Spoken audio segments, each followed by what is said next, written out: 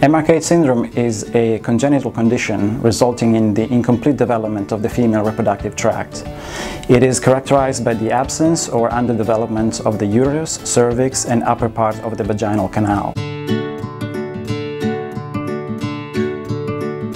This study involves the recruitment of uh, women affected by MRKH and possibly their family members um, who are willing to provide a sample of their blood.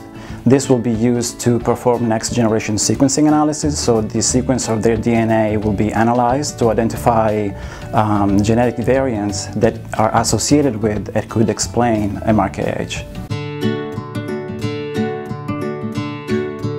We have the answers to what causes many, many different types of inherited disorder. But MRKH is quite unusual in that we know pretty much nothing about the genetics of the disease.